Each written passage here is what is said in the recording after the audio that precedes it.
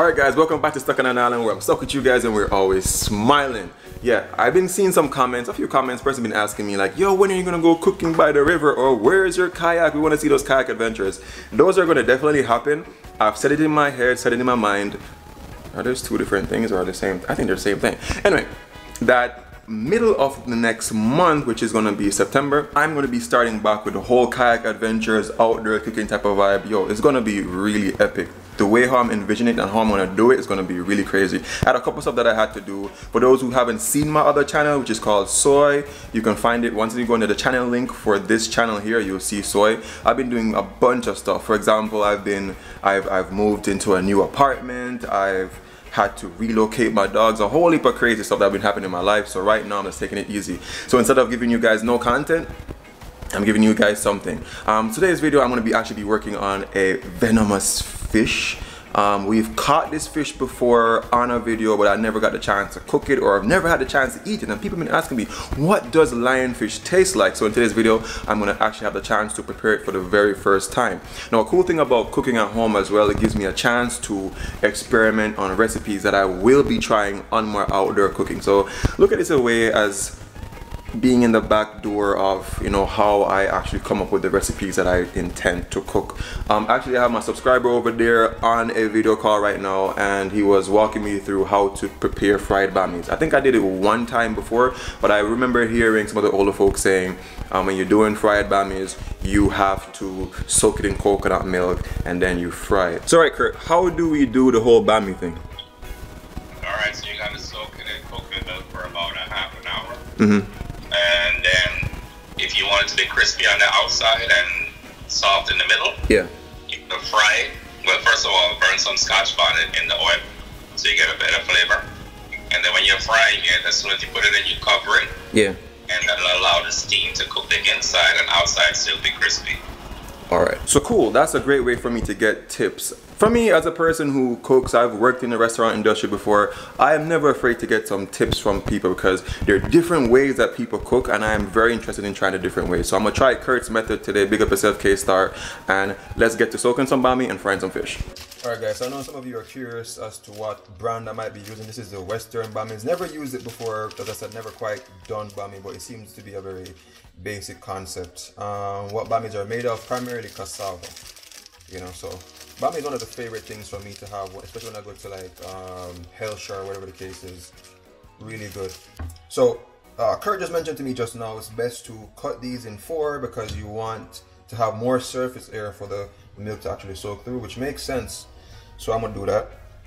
Typically, people cut the have the bamis cut up in in quarters. I mean, it's a little bit more bite size, so I'm gonna do it that way. Cut it in four. And of course we have some coconut milk here. This is packaged coconut milk, makes life a lot easier, but if you want to go really authentic Jamaican, then you can definitely grate some coconuts, blend it and squeeze like. But yeah, for me this is my breakfast today actually. I haven't had anything all day, so it's gonna be quite easy and convenient. So I'm just gonna drop these in there. Um, I think Kurt mentioned that it's about half an hour to soak these. Um, that's quite long but I think it all depends on how how thick the coke the the bammies are because you have some bammies that are really thick. This one is about I would say it's about quarter way thick so it's not that thick. Yeah about half inch thick so I'm gonna leave these in here for uh, let's say about 50 minutes but I'm gonna check them just to make sure that they're not like disintegrating or anything like that okay so here comes the fish that is the talk of the town, yo. So I got these fish fresh caught. They were delivered to my home, everything like that, which I thought was really boss. It was really cool that I got it that way. And everything was cleaned out. So um the little bit that I know about these venomous fish, of course, they're called lionfish, and they're very, they're very much an invasive species. What that means is that they will come into your your coral reefs in your country and they basically just will just eat everything up with I don't, i'm not even sure. Drop in the comments if they eat other fish or they just eat up all the food that the other fish need to eat. But i'm thinking that they're eating the other fish or whatever. So anyway um, they actually come into our waters and actually dominate you know, so they breed up very quickly and they're gonna just eat down the place, which is quite crazy. Now, the perfect part about this that I heard about these fish is that they taste really delicious. So that way, you know, you can go out there, catch some lionfish or whatever, and you can actually enjoy eating the bastards. oh, Kurt, did you hear that, bro? Um, I do not know the the best way to cook a lionfish. If it's actually to fry, to steam, or whatever. But what I'm going to be doing today, I'm going to fry this, and then after I'm done frying it, I'm gonna wipe it down with a nice little um, garlic confit, call it garlic butter, basically, and I'm gonna see how that works out. But the first thing I'm gonna do is to clean the fish. All right, so we have some water in there, and of course I'm just gonna add a little bit of vinegar, cut away some of the. Is that all? Well, luckily because I'm a Jamaican, like I literally have two gallons of vinegar. Like Jamaican people, don't know what things that already. We love make sure so we meet them well clean. Like I'm not even joking. If you thought I was messing around, here we go. These are my two gallons of vinegar. Yeah, I definitely do not mess around when it comes down to cleaning my meat. It's very important for me. Now, um, what makes this fish venomous? I forgot to mention that part. It's the spines. The spines are not there, which I'm happy about. But they say if you get stuck by one of the the spines then yeah you're gonna be in tremendous pain. I did speak to my brother uh spearfish in jamaica. Go check out his channel. He got stuck by a couple times and he said that it's very painful but for him i guess over time he's gotten a little bit accustomed to it so it's not so bad. So i'm happy that this is perfectly fine. There's no spines on it at all. And if you've ever cleaned fish before and you've gotten stuck by it you will know that hurts like a bastard. I'm talking just regular fish, regular fish fins stuck me before. It's very painful. I remember somewhere it stuck me under here and I'm telling you man, it swelled up for days and that was just a regular fish. Wow. Alright, so because I am going to be frying these, I'm going to get them dry as much as possible. I mean, the less water, the less popping that you're gonna have and the more your seasoning is going to adhere to the meat so all right so typically how i used to see back in the day you know my parents making fish is always just normally typically just salt and black pepper and that's it. But i was actually working on a, a jerk chicken video the other day but it was emancipation day and people were playing music around the pool or whatever so i had some jerk seasoning that i had sectioned out so i'm just gonna add that you know there's one thing about cooking, like never be afraid to experiment on stuff. Just try new things, yo. Don't care what people want to say about it. So I'm going to add some jerk seasoning. This is just a powdered version. I'm going to see how this is going to turn out on this fish. Can you guys feel the fear that I have? Because like I'm literally still afraid. Like, what if there's one spine still there with the active bio ingredient? yo. This is one scary fish kind of ugly too. So I don't know if you guys can see, this is kind of the hazing point. You see the smoke coming up. It's a little bit hot, so I dropped my heat back down to low, but I'm gonna drop some pimento or allspice and a whole scotch bonnet pepper in there.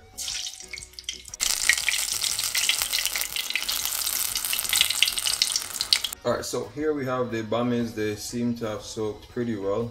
So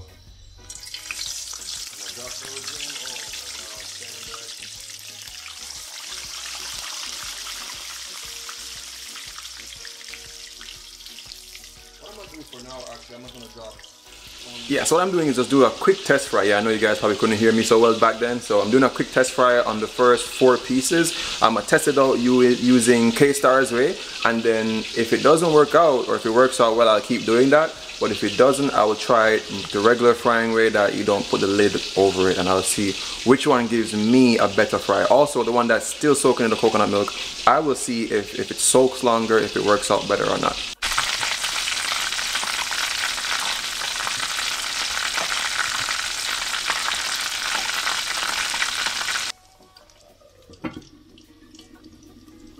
Yeah, for those of you guys who are dying to see Jamaica, yes, it's a beautiful day outside. You can see the Poinciana trees somewhere up there, sunny. God bless Jamaica. I just heard my friend just now, he was like, mm, mm, mm. he just heard the frying. he probably could smell it from here. All right, whoa, that's steamed up. Okay, so with this technique, I do see some puffing from the bammies. It does look does look kind of interesting looking. Huh. You don't really need to flip them because they're being deep fried, but I'm very interested to see how this turns out, to be honest. I can take this out for now because it's burning. So over here, I'm just doing, heating up the oil for the fish, but yo, let me tell you, I can smell the coconut milk from these bammies. Oh my gosh. Smells so good. I just have to make sure that the inside is cooked properly. Um, a little tip whenever you're taking anything out of the fridge, allow it to get to room temperature because what you don't want to happen, you don't want inside to be very cold so when the outside looks done, the inside isn't done. Alright, so our oil is already seasoned, so we can drop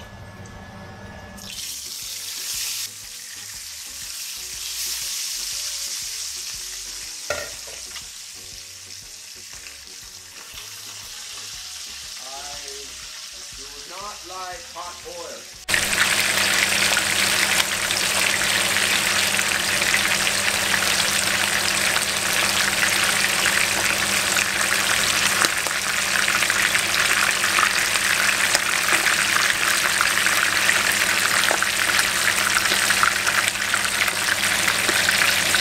I don't know if you guys can hear me so well because there's a lot of popping going on, but yo, let me tell you, this bami with this type of frying technique, it's really crispy on the outside, but look how soft and tender the inside is.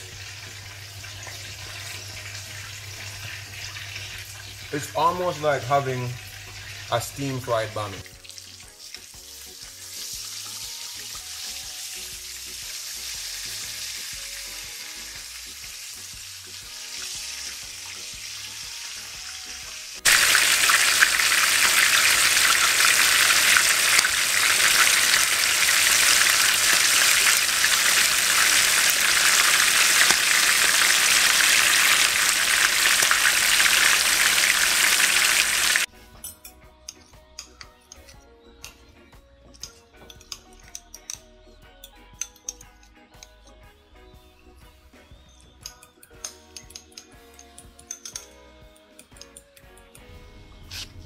So it's pretty hot inside my house and it's hot outside my house as well. But I was like, yo, I'm gonna give you guys a quick peek of the fish and I'll tell you guys what I think about it. So one thing I know about lionfish, it's definitely a very fleshy fish. Look at that, yo. There is a lot of flesh on this fish.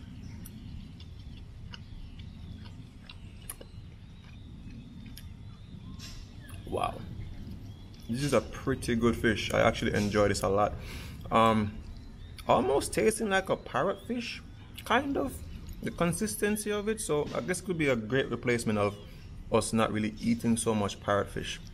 So if you've never had lionfish before, please go out there and try it. Hopefully a lot of these restaurants start catching them and actually putting them on the menus for a decent price so that we can all enjoy it. Pretty good. So I do have a little garlic paste here. Just a little rough done garlic confit with some butter that we had melted up. So that's that. Let's see how that goes with garlic.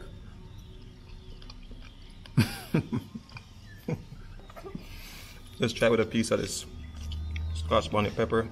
I mean it's garnishing but I do like pepper.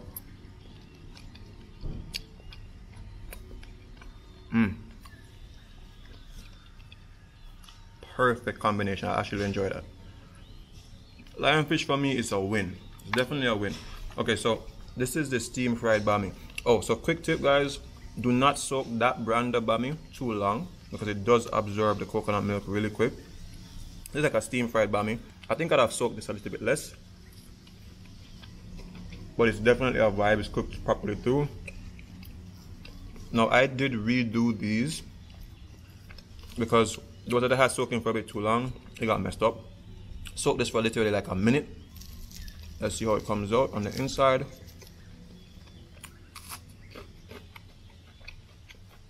And this works pretty well. I mean, just one minute and it's perfectly fine.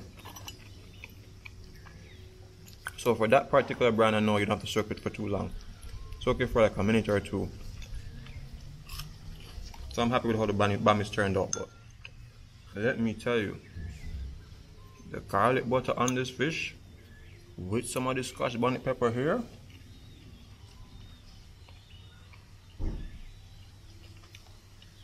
Oh man, look at that. Mmm. This is not even a joke. Lionfish is actually really good. Look how fleshy this fish is, bro. Oh my god. Yo, let me tell you, if it was up to me, this fish would be a very endangered fish. Very endangered. Mm. And you guys know, notoriously, I'm not really a fan of fish, but if it's parrot fish or now lionfish, then definitely. Definitely. So this is going to be my new meal in replacement of the parrot.